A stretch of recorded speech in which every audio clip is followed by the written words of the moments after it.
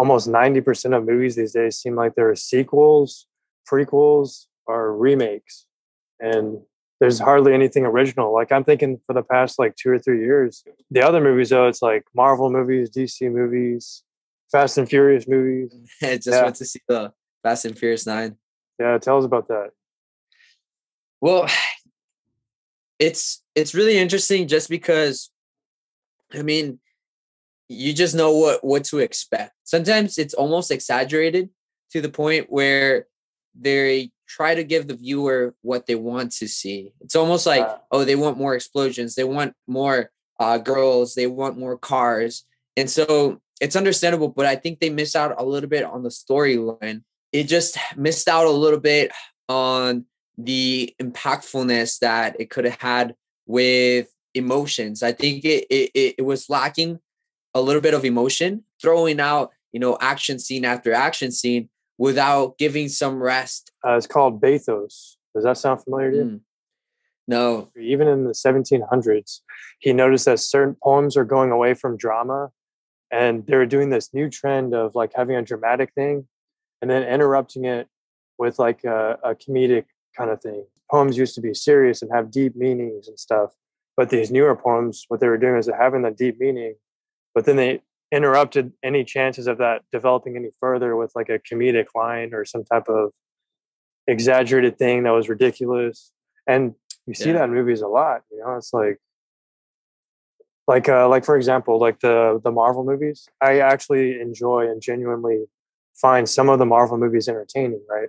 There'd be certain scenes where you'd have like a dramatic scene, right? And it sets like this kind of like drama tone where it's like serious. But then all of a sudden they ruin it with like a comedic one liner or some type of comedic thing happening. And oh, this was an important character moment, but it doesn't matter because it's all kind of a joke anyways. whenever you don't give time to to uh to flow in within a movie it just feels like you said forced it leaves the the viewer confused because you were expecting this to be a, a fundamental moment in the character's life when you try to give people exactly what they want that sometimes takes away from the genuineness. It's boring when the stakes are not high because you already know based on how movies are now that it's not going to there's no any real risks. Keep going back to the marvel movies or any comic movies now the stakes are so low.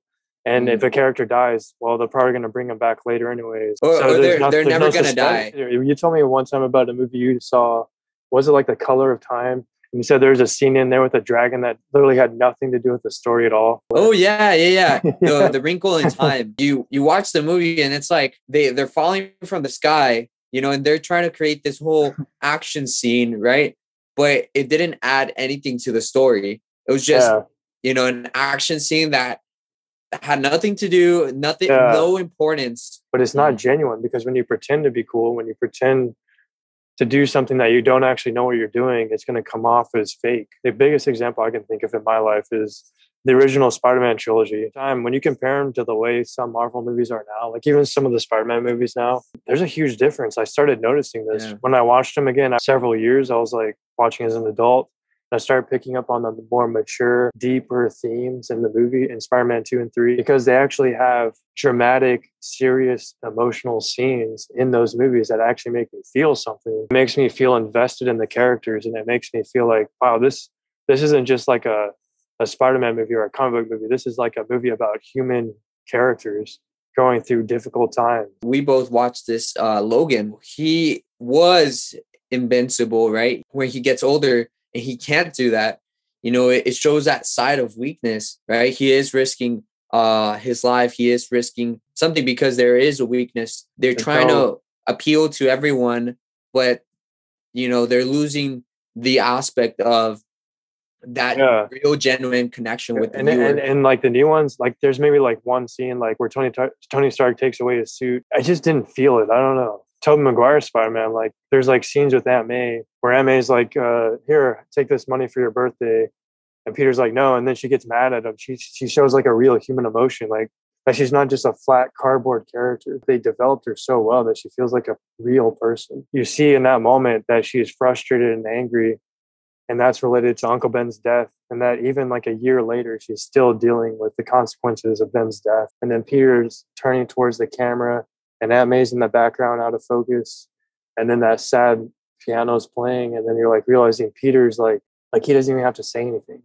You can see it on his face, like he feels guilty. He still carries that guilt. Do you ever see a deep message like that in new movies today? I don't. It's I mean, it's, it's kind of rare. It's you know they they're trying to create hits. You know, be liked by by everyone, and so I think that's why they add all those like comedic lines and action and and all that instead of using the simple fundamentals of building a storyline. I'm talking from like over 13 years of experience of like writing scripts. There was a period where I was in that phase. I know what it's like the phase of just trying to make something cool. I would just kind of like think of movies when I was writing the script and trying to emulate those instead of coming with my own original uh, characters and development and motivations. When I went to St. Mary's University and wrote like my first original full length script, uh, True Love Story, the best writing is the writing you do from your personal experiences. And so I did that with True Love Story, and I realized it clicked. And I was like, that's the difference between genuine, realistic dialogue that's character driven and the dialogue I was writing before that I was just trying to make it sound cool or sound like a movie, sound like a really cool movie. And then it would become this process of like having a conversation between characters in my head, pretending like I was that character. I never did that before that. And then I went even deeper with Love's Death. Uh, what would I do if I was actually in this character situation? Not what I say, but what would I actually do? What am I, what resources do I have? How can I accomplish my goal with the lack of resources that I have? You know, and that's how you create a compelling story that feels believable by going based on what you think you would do, not what you think a movie character would do. He, when he's Peter Parker, he feels like us, you know, having to deal with his grandfather passing away, you know, not being able to pay bills and trying to get the girl that he wants. And so the, the really cool aspects of of developing a character is actually having the character go through struggles.